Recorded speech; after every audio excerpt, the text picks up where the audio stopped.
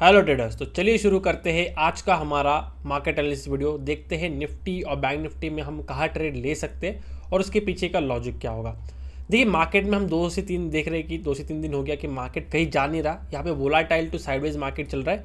ना मार्केट भाग रहा है, ना ऑप्शन की एटलीस्ट वोलाटाइल मार्केट होगा तो ऑप्शन प्रीमियम तो स्पाइक करेंगे, लेकिन वो भी नहीं हो रहा है। मार्केट को अगर सौ पॉइंट भी हिलना है स्पॉट को तो उसको पूरा दिन उसमें बिताना पड़ रहा है। यहाँ पे बेसिकली मार्केट एक रेंज में है राइट और इसी के साथ में आपको फिर से एक पॉइंट आपको मैं याद दिलाना चाहूँगा कि मैंने ऑलरेडी डिस्कस किया आपके साथ कि मैंने दिखाया वन डे के चार्ट के ऊपर निफ्टी और बैंक निफ्टी। दोनों यहाँ पे एक जोन में खड़े हैं। एक ऐसे जोन पे है जहाँ पे काफ़ी इंपॉर्टेंट जोन है। वहाँ से ब्रेकआउट आएगा तो बहुत बड़ी बाइंग आएगी ब्रेकडाउन आएगा तो बहुत बड़ी सेलिंग आएगी। तो यहाँ पे दोनों लोग पूरा जी जान से ट्राई करने वाले तो मार्केट थोड़ा फ्लक्चुएटिंग रहेगा। ऐसे केस में बिंग एन ऑप्शन बायर आपको बस वेट करना है। आपको ज़्यादा पैसा गंवाना नहीं है। यहाँ पे आपको कैपिटल कंजर्व करके चलना है। प्रोटेक्ट करके चलना है। अगर ट्रेड आता है तो ट्रेड लेंगे, नहीं आता तो आपको उसको छोड़ देना पड़ेगा। तो यहाँ पे देखिए, अभी अगर आप आज की बात करते हो मार्केट में हुआ क्या? बैंक निफ्टी टॉप लेवल पे खुला, काफ़ी अच्छे लेवल पे। यहाँ से एक्चुअल बाइंग आनी चाहिए थी। तो मैं भी उसी डायरेक्शन में देख रहा था कि यहाँ पे basically buy on dip situation नहीं बनेगा, जैसे यहाँ पे बना था। लेकिन अगर आप देखते हो मार्केट ने ट्राई ज़रूर किया। दो बार ट्राई किया, लेकिन मार्केट ने फिर भी एंडिंग में यहाँ पे एक सेल ऑफ़ दिखाते हुए क्लोज किया। वो सेल ऑफ़ भी कुछ फास्ट नहीं है। जैसे लास्ट टाइम यहाँ पे एटलीस्ट कुछ फास्ट सेलिंग थी। यहाँ पे इस तरह से फास्ट सेलिंग नहीं मिली है।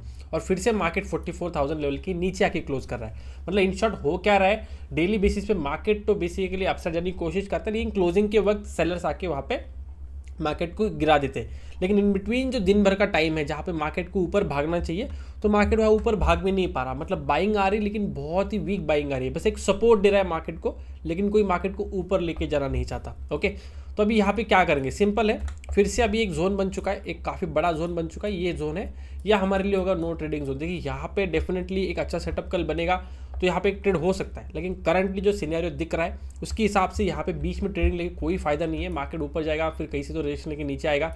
इसी तरह टाइम पास करेगा तो बेसिकली ऑप्शन बाय को प्रॉफिट नहीं मिलने वाला है। आपको वेट ही करना पड़ेगा। मार्केट में कब अच्छा मूव आएगा? देखिए मैंने टेलीग्राम के ऊपर आज बेसिकली आप, आपका दिन यहाँ पे कुछ भी आपका लॉसेस नहीं होता था अगर आपने मेरा टेलीग्राम ज्वाइन किया होता तो। मैंने टेलीग्राम के ऊपर आपको आईडी दिखेगा लेफ़्ट साइड में। मैंने अपडेट किया था कि अगर 44,000 मेरे ख्याल से 120 के ऊपर निकलता है तो ये आप एक अच्छी खासी बाइंग आएगी। और मैंने जैसे आपको प्रॉमिस किया था कि फिन निफ्टी के बारे में अपडेट क्योंकि चार्ट में देखूँगा, उस वक्त क्या सिचुएशन बन रही है। और उसको अकॉर्डिंगली ही मैं आपको एक अच्छे लेवल्स बता पाऊँगा। तो फिन निफ्टी का भी मैंने लेवल अपडेट किया था। बीस रुपये का ऑप्शन हमने लाइक फिफ्टी फिफ्टी टू के आसपास जाके क्लोज किया है। जो बीस रुपये क्योंकि उसी लेवल के आसपास हमने बाइंग की थी। मेरे ख्याल से नाइनटीन थाउज़ेंड सिक्स हंड्रेड का पी बोला था। तो जैसे वो लेवल ब्रेक करके सस्टेन करेगा तो ही ट्रेड लेना है। तो बीस रुपये के आसपास बाइंग उसमें आई थी। फिफ्टी टू फिफ्टी थ्री के आसपास यहाँ पे आके हमको क्लोजिंग मिली। तो बहुत ही अच्छा यहाँ पे ट्रेड भी मिला फिन निफ्टी में। ज़ीरो टू के हीरो ज़ीरो टू हीरो के हिसाब से। ओके भाई बैंक निफ्टी में जैसे मैंने बोला, ये आपका नो ट्रेडिंग जोन है तो ट्रेड करना का है? सी यहाँ पे अगर आप, यहाँ पे थोड़ा टाइम के लिए अगर HDFC बैंक के लिए मैं आपको दिखाता हूँ, क्या हो रहा है सिचुएशन HDFC बैंक में। HDFC बैंक क्या है? एक काफ़ी हैवी वेटेज है जो बैंक निफ्टी को रिप्रेजेंट करता है। तो अगर आप देखते हो, यहाँ पे एक double top situation sort of हो रही है राइट ए टॉप राइट? और ये अभी एम पैटर्न का जो फॉर्मेशन है डबल टॉप ब्रेकडाउन है, उस लेवल के आसपास आके खड़ा है। तो यहाँ से अगर ब्रेकडाउन होगा तो डेफिनेटली काफ़ी अच्छी सेलिंग आ सकती है। अगर वो चीज़ होनी है तो मार्केट को यहाँ से डायरेक्टली फ्लैट खुल के नीचे ब्रेक करना होगा। या फिर सबसे अच्छा होगा कि मार्केट डायरेक्टली गैप डाउन खुल जाए। इसका मतलब ऑलरेडी मार्केट सेलर्स के हाथ में खुल चुका है। तो सेलर्स अगर यहाँ पे डोमिनेंट होंगे तो फिर से यहाँ पे मार्केट को एक ब्रेकडाउन मिलेगा। ठीक है ब्रेकडाउन के लिए देखिए, ये जो लेवल है हमने कल डिस्कस किया था forty three thousand eight hundred and eighty इसके नीचे जाएगा तो सेलिंग आएगी। तो बेसिकली जब मार्केट सुबह में forty three thousand nine fifty ये जो हमारा लेवल है, आज का लो अगर आप बोलते सिंपल सिंपल में आज का लो ब्रेक होता है तो हमारा व्यू सेलिंग हो जाएगा, लेकिन तुरंत सेल नहीं करेंगे। क्यों? मे भी हो सकता है कि जैसे एक ग्रीन कैंडल बनाने के बाद मार्केट पूरा दिन टाइम पास कर रहा है, वैसे एक रेड कैंडल बनाने के बाद मार्केट पूरा दिन टाइम पास करे। इसलिए हमें क्या करना है? एक बार market forty three thousand nine fifty के नीचे ब्रेक हो जाएगा, हमारा व्यू हो जाएगा नेगेटिव हम यहाँ पे सेलिंग का ही सोचेंगे। लेकिन लेवल जो होगा 880 के आसपास। इसके नीचे मार्केट सस्टेन होना चाहिए, तभी हमें यहाँ पे sell on rise sell on rise का पैटर्न स्ट्रेटेजी यूज़ करते हुए यहाँ पे अच्छी खासी सेलिंग हमें देखने मिलेगी। उस केस में मार्केट फिर काफ़ी अच्छे से ये जो लेवल्स बने हैं डाउन साइड इनको भी रिटेस्ट कर सकता है। इवन ये जो लेवल है, सबसे अच्छा या बोल सकते हो फोर्टी के आसपास भी मार्केट गिर सकता है। और जब भी रेंज ब्रेक करेगा मार्केट एक बड़ा मूव दिखाएगा तो अभी एक्सपेक्ट कर रहे हैं कि आने वाले दो से तीन दिन में यहाँ पे मोमेंटम आएगा मे बी कल भी आ सकता है। क्यों? ऑलरेडी मार्केट बहुत टाइम टाइम पास कर चुका है साइडवेज टू वोलाटाइल हो चुका है तो यहाँ पे अभी एक एक्सपेक्टेशन है। इसका मतलब ये नहीं कि रैंडमली बहुत सारे ट्रेड डालने, इसका मतलब आपको लेवल्स का ही वेट करना है, तभी आपका छोटा स्टॉप लॉस में एक बड़ा टारगेट आपको मिल सकता है। लेट से मार्केट अगर गैप अप खुलता है तो भी अच्छी बाइंग मार्केट आ सकती है, लेकिन मार्केट को at least forty four thousand one hundred के ऊपर निकलने दीजिए। उसके बाद ही आपको यहाँ पे बाइंग मोमेंटम मिलेगा। क्यों? इसके पहले आपको नहीं मिलेगा। इसके पहले बेसिकली मार्केट रेंज में रहेगा। तो जब तक ये रेंज ब्रेकआउट नहीं होता, हमें देखना नहीं है। और forty four thousand one hundred के ऊपर सस्टेन होगा तो at least forty four thousand three hundred या फिर टू सेवेंटी फाइव का तो एटलीस्ट हम यहाँ पे टारगेट रखेंगे। क्यों? रेंज से ब्रेकआउट करेगा तो एटलीस्ट सफिशियंट मूव यहाँ पे एक्सपेक्टेड रहेगा। अगर आप बात करते हैं निफ्टी की, निफ्टी तो कल ही हमने तो अच्छा नहीं लग रहा था बाइंग के हिसाब से थोड़ा बहुत लग सकता था, लेकिन सेम अगेन यहाँ पे रेजिस्टेंस है मार्केट को होल्ड करना चाहिए।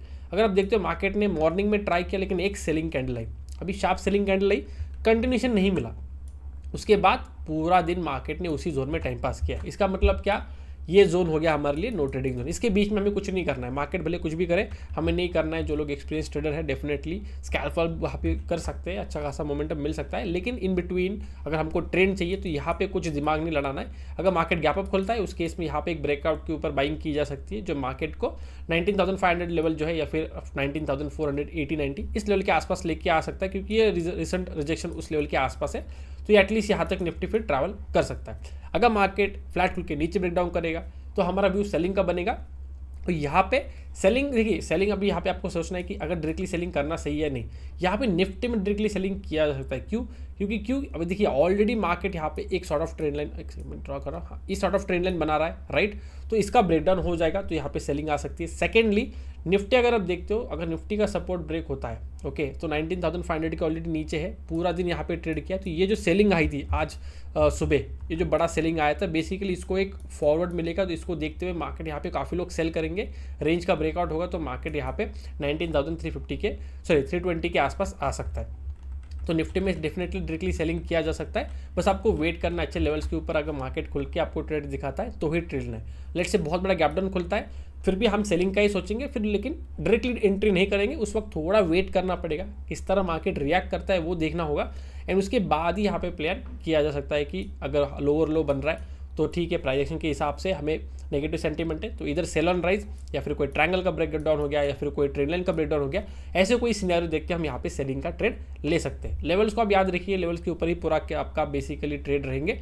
और सेकेंडली यहाँ पे बेसिकली मे बी थोड़ा सा आई डोंट नो एग्जैक्टली लेकिन मे बी हो सकता है कि चंद्रयान थ्री का जो लैंडिंग है उसके रिलेटेड मार्केट थोड़ा बहुत रिएक्ट कर सकता है, क्योंकि जैसे टेक ऑफ़ किया which is the most important part वो तो हो चुका है। अगर लैंडिंग भी सक्सेसफुल हो जाता है तो मे बी मार्केट उसके हिसाब से थोड़ा रिएक्ट कर सकता है। दो टाइप की न्यूज़ होती है जिसके मार्केट रिएक्ट कर सकता है, एक होता है ग्लोबल न्यूज़ और एक होता है अपना नेशनल न्यूज़ तो अभी ये बेसिकली ग्लोबल न्यूज़ नहीं हुई, लेकिन हमारे भारत के लिए काफ़ी इंपॉर्टेंट है कि चंद्रयान थ्री सेफली वहाँ पे लैंड करे। तो देखते हैं मार्केट क्या करेगा। मे बी देखिए वो मेरे ख्याल से इवनिंग के आसपास होने वाला है, लेकिन मार्केट में भी क्लोजिंग होते हुए कुछ वहाँ पे एक मोमेंटम दिखा दे looking forward to the particular event ठीक है? या फिर मे बी डायरेक्टली ट्वेंटी को गैप अप गैप डाउन खुल जाए maybe because of the news it is not compulsion क्यों होगा बट हमको उसको ध्यान में रखते हुए ट्रेड रिस्ट टू रिवॉर्ड सब प्लान करना है। बस इसलिए मैंने आपको यहाँ पे उसके बारे में बताया। तो चलिए, आज के लिए बस इतना ही। मिलते हैं नेक्स्ट वीडियो में। Till then goodbye thank you so much for watching